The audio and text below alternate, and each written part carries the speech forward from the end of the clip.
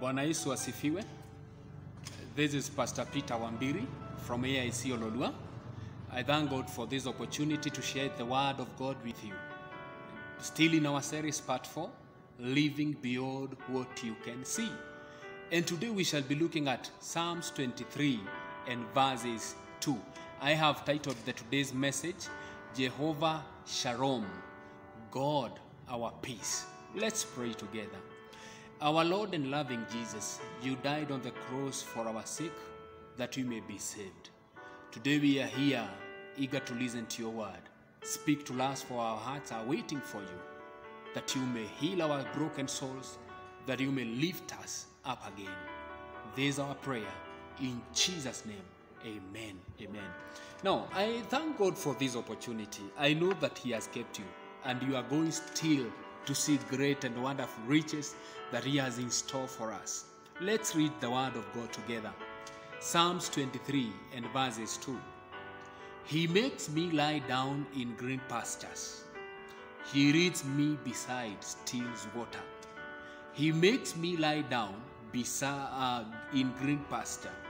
He leads me beside still waters. I would like to begin and say this.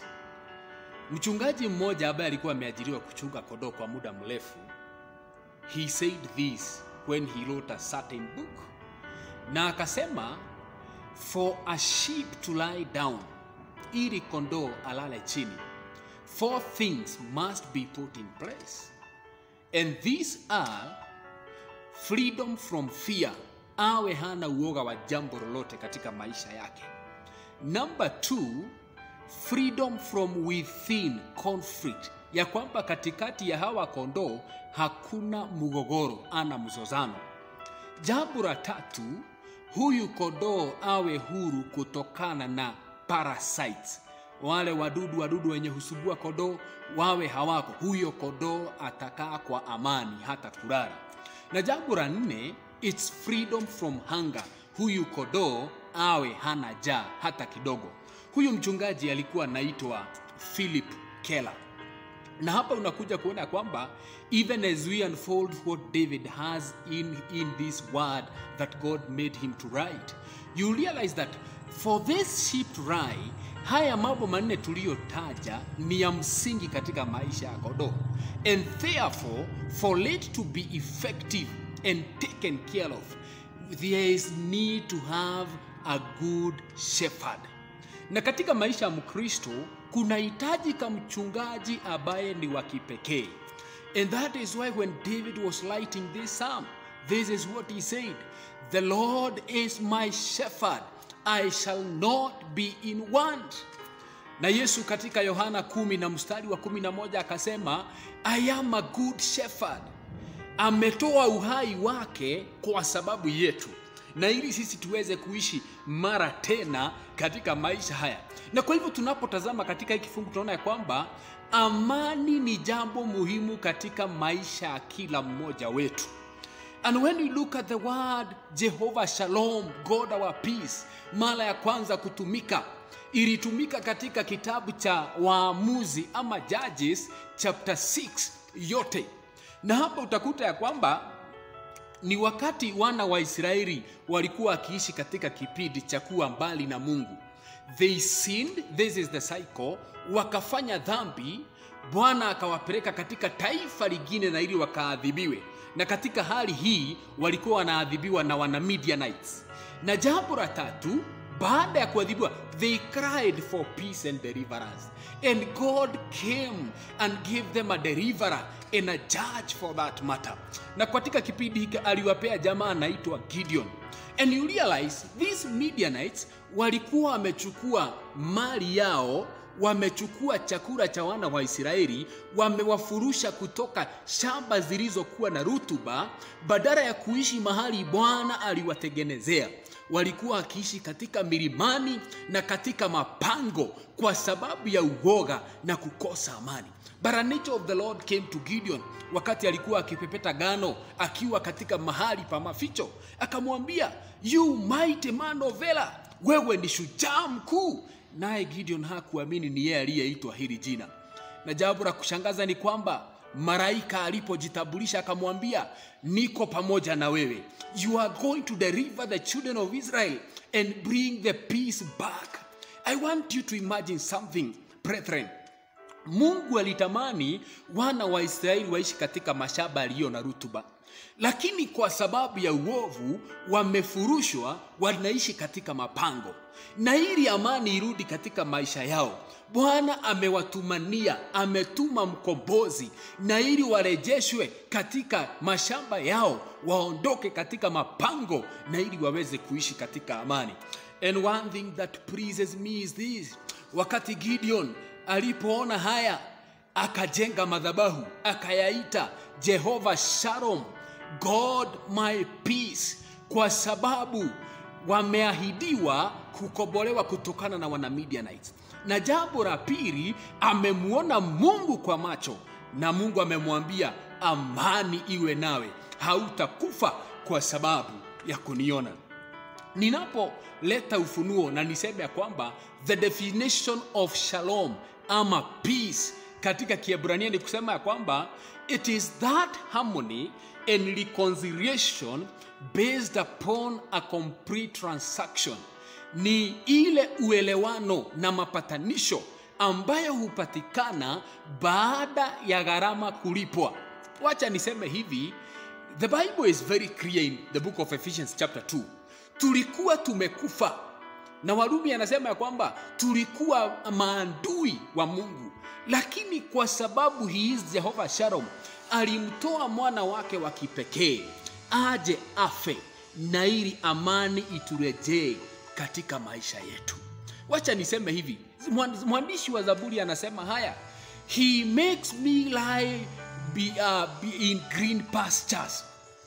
Green pasture katika kiebrania inaachiria makazi ambayo bwana ameyaandaa ambayo bwana ameyatoa and the action of lying inaonyesha ya kwamba yule kondoo analala katika green pastures kwa sababu ameshiba kwa sababu ako na amani na kwa sababu ameelekezwa.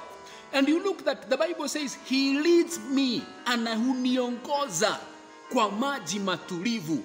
Kuniongoza inaleta picha ya kwamba god is accommodating your weaknesses hakuchukui kwa sababu wewe ni mkamilifu lakini anajali jinsi wewe ulivyo.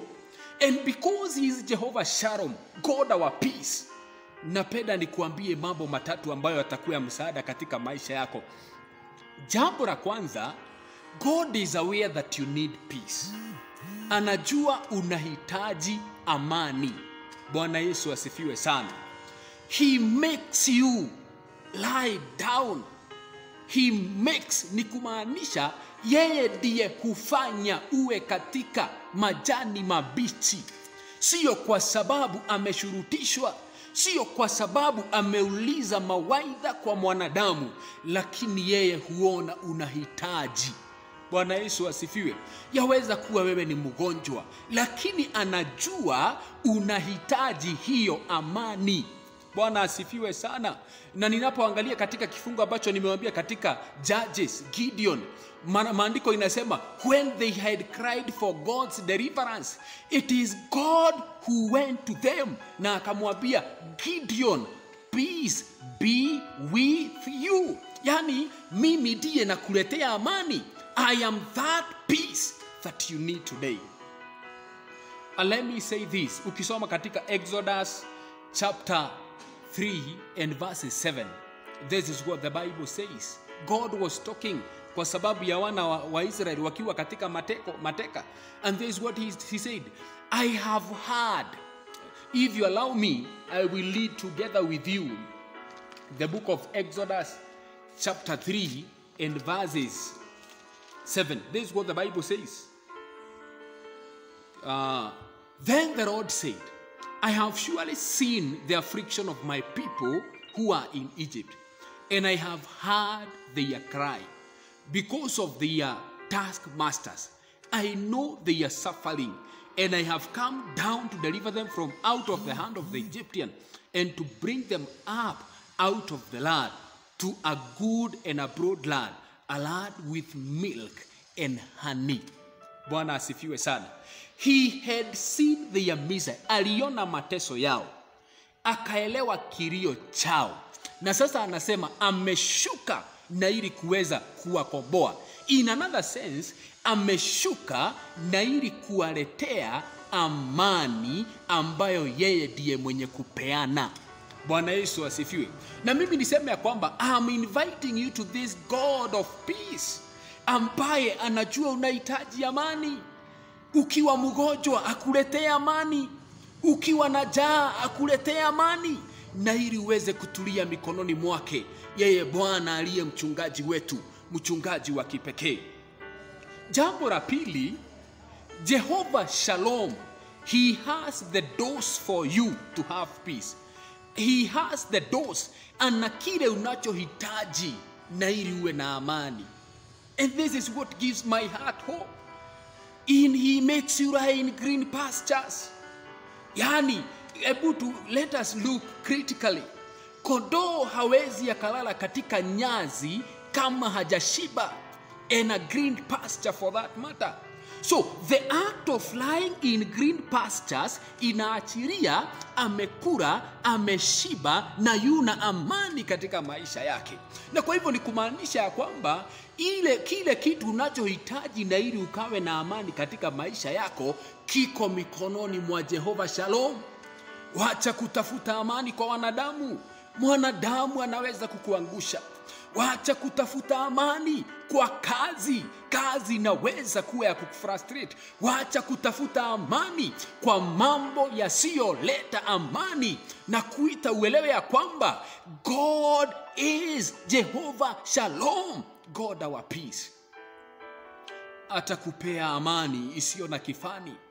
I remember yule kiwete aliyekuwa amelala katika uh, alikutwa na Yesu akiwa amelala karibu na kisima wakingoja maraika atimbue maji na ili aingie akapone akapo, akapo, akapo, apone.